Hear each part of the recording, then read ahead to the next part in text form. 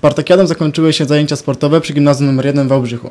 Całe przedsięwzięcie było zorganizowane w ramach programu Centrum Aktywności Lokalnej, gdzie ponad 60 dzieci przez pół roku brało udział w zajęciach sportowych. Generalnie te dzieci, które tutaj biorą dzisiaj udział w tej imprezie, współpracowały z nami z Centrum Aktywności Lokalnej.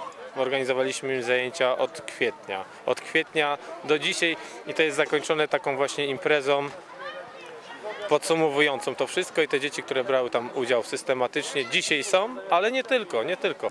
W czasie całej Spartakiady dzieci brały udział w licznych konkursach i zawodach, które miały na celu wyłonić najlepszych. Cała Spartakiada była świetnym pomysłem i mogła przynieść radość dzieciom, które zamiast siedzieć w domu czy nudzić się na podwórku, mogły przyjść na boisko i pograć piłkę nożną, koszykówkę czy w dwuognie. Dużo nagród, dużo zabawy, dużo emocji i rywalizacji. Zaczyny, zaczęliśmy od e, współzawodnictwa w takich sztafetach. Były drużyny podzielone na sztafety. Później e, był mecz Real Madryt-Barcelona. Wszyscy byli razem podzieleni, brali udział w meczu nie tylko piłki nożnej, ale piłki koszykowej, e, dwa ognie, Unii hokeja. Zdobywali punkty, ostatecznie wygrał Real.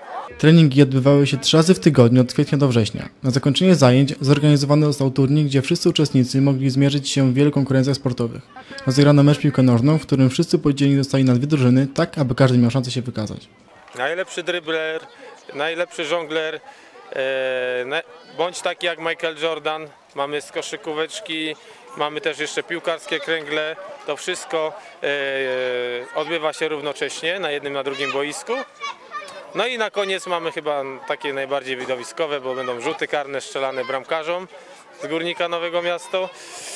E, No i będą trafiać jeszcze w poprzeczkę i w bramki jako najlepszy snajper.